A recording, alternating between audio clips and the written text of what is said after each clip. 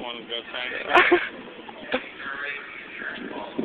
hey, when you get a chance, uh, ask him something.